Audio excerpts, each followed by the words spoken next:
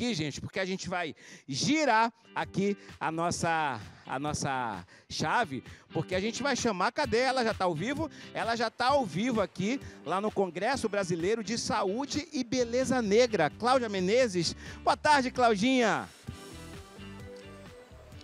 Boa tarde para você também, Alex. Boa tarde para você, Léo. E boa tarde para vocês que nos acompanham aqui no nosso universo. Hoje é sexta-feira. Eu trago aqui um assunto muito importante. É o primeiro Congresso Brasileiro de Saúde e Beleza Negra, gente, que acontece aqui em Salvador, primeira edição desse evento. Eu vou conversar com a presidente do Congresso. Chega aqui, Tatiana Novaes. Tatiana, primeiro, esse congresso começou ontem, vai até amanhã, aqui no Centro Médico Mater Dei, gente, no Centro de Convenções, aqui uma área de, de eventos, né, que tem aqui no Centro Médico. E eu queria que você falasse para a gente, está acontecendo, a gente, várias palestras estão acontecendo hoje e amanhã também, entrada gratuita aqui para a população negra, mas também para você que é médico, estudante. Fala um pouquinho mais para a gente sobre esse congresso. Ah, esse congresso é a realização de um sonho de ver a demanda da população negra ser atendida, ser estudada, ser conhecida. E, aí, e mostrar também que são várias especificidades clínicas que, que, tem, que, da população negra, que tem diferentes áreas, tanto na minha área, que é cirurgia plástica, quanto a cicatrização, que é uma coisa até óbvia, cicatrização, a, na dermatologia, questões de pele mas também outras áreas também que têm a ver com a programação de saúde, como na mastologia, que o câncer de mama é mais agressivo na população preta, é, ele chega de uma forma é, mais, é mais geralmente demora mais para se diagnosticar na mulher negra. E estamos falando também de saúde mental da população preta, que é uma coisa muito importante, que por si só daria um congresso na infância, é, o efeito do racismo na infância, na, na, na mulher, no homem.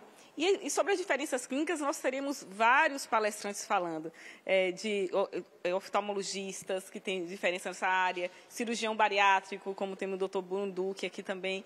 E vai ser um, eu convido a todos, que vai ser uma coisa muito interessante, é um marco e nada melhor que Salvador, que é a cidade mais preta fora de África, onde 83% da população é preta.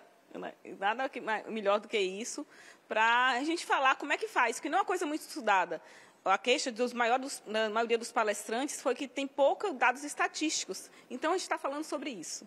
Olha, gente, não vou poder conversar aqui com esses profissionais, mas eu quero que, que o nosso cinegrafista Cacau mostre aqui, olha, Jaqueline Góes, que está aqui, é biomédica, cientista também na área de saúde, né? Vai dar palestra aqui. Qual é a sua palestra? A ciência por trás da beleza negra. Esse é o tema da palestra. Gente, Jaqueline, ela foi responsável por uma, a primeira equipe aqui no país que detectou né, pacientes aí com Covid. Então, parabéns pelo seu trabalho. Você que está em casa, viu, gente? Estrada gratuita, não perca. Tem também aqui o Bruno Duque, que é médico, cirurgião bariátrico, também está aqui né, com a palestra dele. Fala para a gente qual vai ser a sua palestra. Olha, primeiro eu estou muito feliz, muito honrado. Foi um desafio buscar dados na literatura sobre cirurgia bariátrica na raça negra. Realmente Tati, foi desafiador. Sou grato por estar aqui. Vem, vem para aprender, vem para aprender com a gente. Tem muita coisa para ser debatida.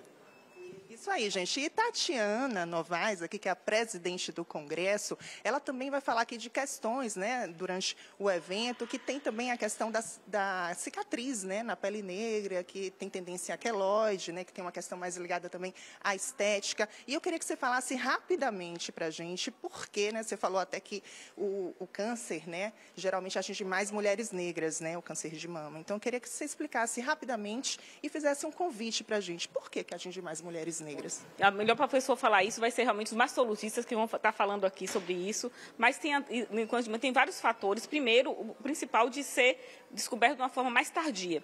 E já tem marcadores genéticos é, é, que mostram que é mais agressivo no, e são diferentes na raça negra. Isso aí, olha, a gente falou do primeiro Congresso Brasileiro de Saúde e Beleza Negra, que está acontecendo até amanhã, viu? Aqui no Centro Médico Mater Dei, você não pode perder, você que é médico, estudante, você também que mora aqui em Salvador, venha conferir, entrada gratuita. E aberta ao público. É, aberta ao público aqui, como a Tatiana está falando.